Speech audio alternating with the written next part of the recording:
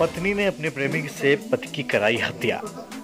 मोहम्मदी थाना क्षेत्र के मुर्तजा अली नगर में पत्नी ने अवैध संबंध के चलते अपने प्रेमी सेव अन्य भाई सुहा व श्रीकृष्ण पुत्रगढ़ रामप्रसाद से रात दो बजे घर में बेदर्दी से अपने पति की हत्या करवा दी।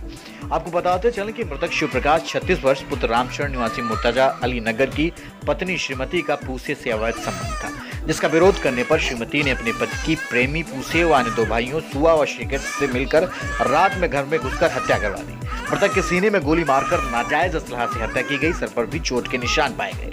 मृतक के तीन बेटी व दो बेटे हैं। सबसे बड़ी बेटी दस वर्ष व छोटा दुदमहा बेटा तीन माह का है। दूध न मिलने से उस बच्चे का रो रो कर बुरा हाल जिससे पत्रकारों की भी आँखें नम हो गई। पत्रकार अतुल मिश्रा ने दूध की बोतल के लिए गरीबी देखते हुए पैसे भी दिए। मोहम्मदी प्रभारी निरीक्षक संजय त्यागी ने बताया कि मुख्य अभियुक्त पूसे और श्रीमती को गिरफ़्तार कर आला कत्ल तीन सौ पंद्रह बोर तमंचा व कारतूस गोका बरामद कर लिया गया शव को पोस्टमार्टम के लिए भेज दिया गया लखीमपुर खीरी से अनूप गुप्ता के साथ कैसे मर्डर हुआ क्या हुआ? हाँ, चारों गोल मेहरबा लगी उससे। किससे?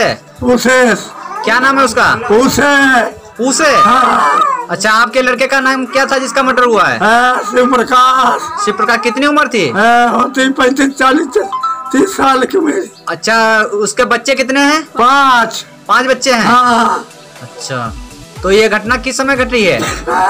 घटना किस समय घटी है ये?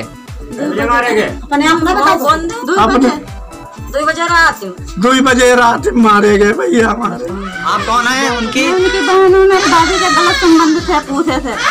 जो नहीं जिनका मर्डर हुआ आप उनकी कौन है? बहन। हो? अच्छा क्या मैटर है? क्या है मामला? बेटा है मेरी भाभी उनके पास रहती थी गलत संबंध थे पूछे थे इसीलिए मरवा दिया मेरी भाभी ने। अच्छा। तो ये घटना किस समय की है? दो बजे रात जब आप लोगों को जानकारी तो पुलिस को सूचना दी पुलिस मौके पे आई? हाँ। जिसके घर में एक पूसे सन्नोफ राम प्रसाद जो कि मुर्तजा अली नगर का रहने वाला है यह घर में घुसा था।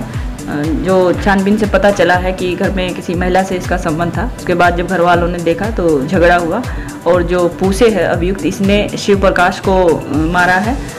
जो वादी हैं, उनकी तहरीर के आधार पर मुकदमा पंजीकृत कर लिया गया है। अभियुक्त को मुख्य अभियुक्त को गिरफ़्तार कर लिया गया है और बाकी कार्रवाई प्रचलित है